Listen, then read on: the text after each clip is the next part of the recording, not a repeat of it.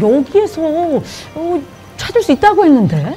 아 여러분 여기서 2025년 1월 JCS 뮤지컬 주인공을 찾을 수 있다고 해서 제가 이렇게 바다를 가로질러 가고 있지 않습니까? 아, 뭐 하나가 돌아오느냐고요? 아 아무래도 그건 아니겠죠. 사실 이 뮤지컬은 제가 어려서 너무너무 좋아하던 디즈니 영화를 기반으로 만든 작품인데요. 제가 고등학생 시절에 이 곡을 매일 피아노로 반주하며 노래를 하며 정말 행복해하던 이제 좀 아시겠죠?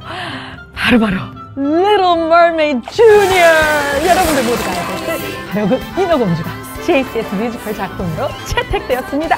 Hooray!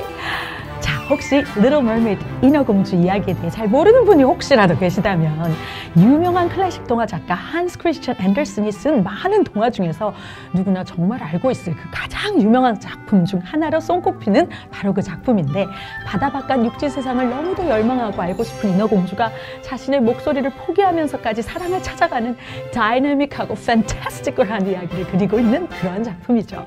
그 이야기가 디즈니 만화 영화로 1989년 만들어지고 어른 할것 없이 모든 페이버릿 무비가 되고 나서는 2007년 브로드웨이에서 Little Mermaid 뮤지컬이 선보이게 되는 거죠.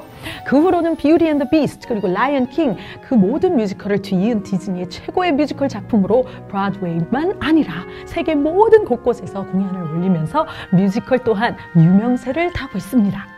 그리고 막 지난 2023년 봄에 사실은 Little Mermaid 실사판 영화가 나와서 다시 한번 아름다운 음악들과 어우러진 인어공주의 그 아름다운 작품을 마주할 수 있는 기회가 되었었죠.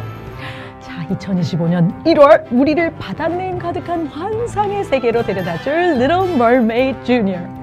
Mary Poppins가 12번째, Winnie the Pooh Kids가 13번째, 그리고 바로 이 Little Mermaid Junior는 14번째 뮤지컬 작품이 되겠네요.